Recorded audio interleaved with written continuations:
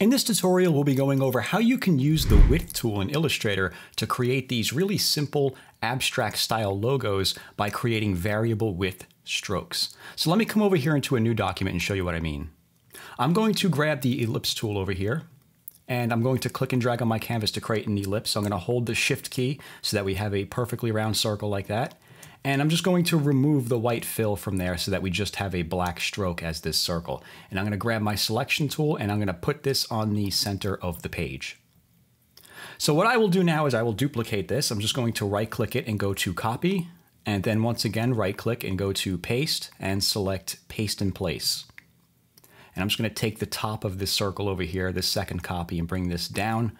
I'll bring this bottom up like that and I'll take these sides and move them out like that so that we have sort of like a little ring around our circle here. And let me center that up on the page as well.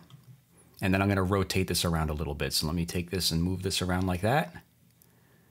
And that's looking good right there. Okay, so what I'm going to do now is I'm going to select the original circle.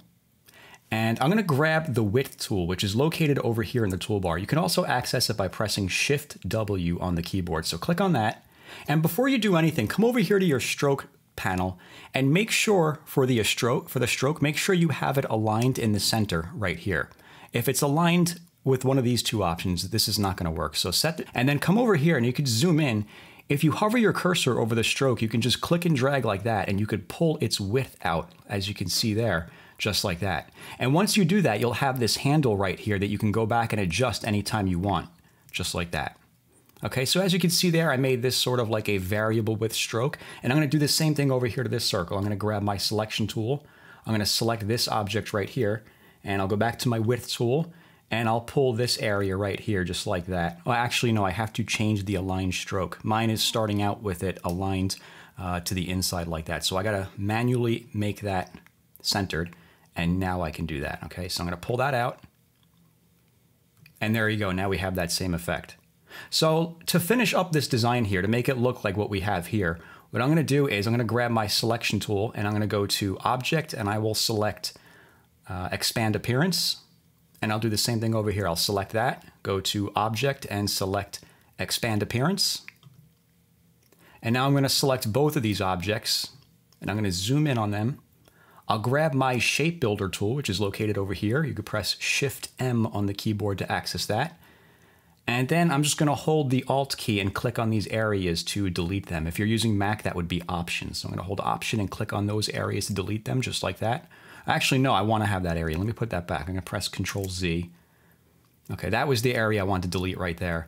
I'm going to add these other areas here. So I'm going to click and drag a line through these areas to add them. And then I'll add these areas over here as well, so that this is one piece coming through here.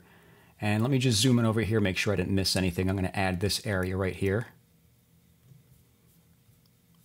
Okay, and now the final step to finish this design would be to make a duplicate copy of this object right here and subtract it from there so that we have that makeshift shadow effect there. So let me grab this object here. Uh, I'm going to hold Alt or Option if you're a Mac user and just click and drag this object right here. Actually, you know what? Let me undo that.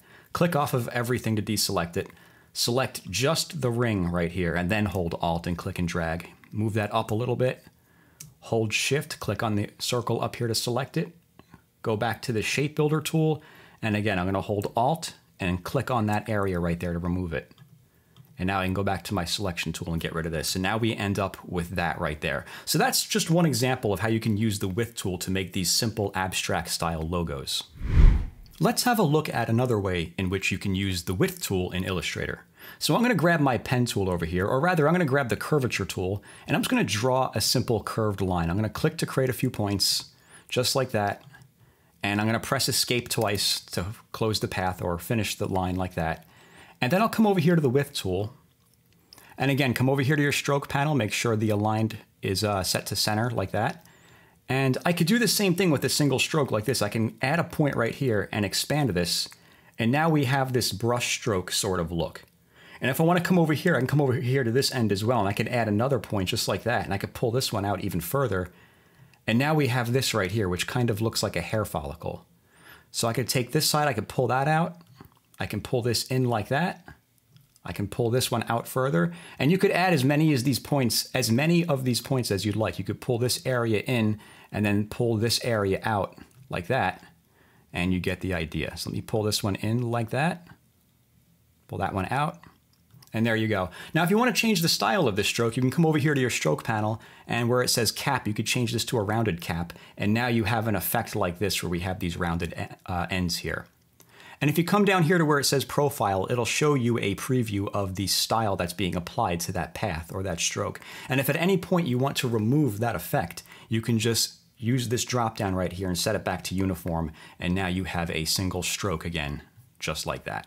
So that's how you can go about using the Width tool in Adobe Illustrator.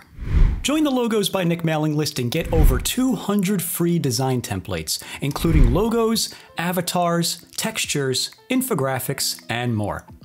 As a member, you'll receive news, updates, and tips about your favorite design apps. Just use the link below to subscribe for free and download your templates. As always, thanks for watching.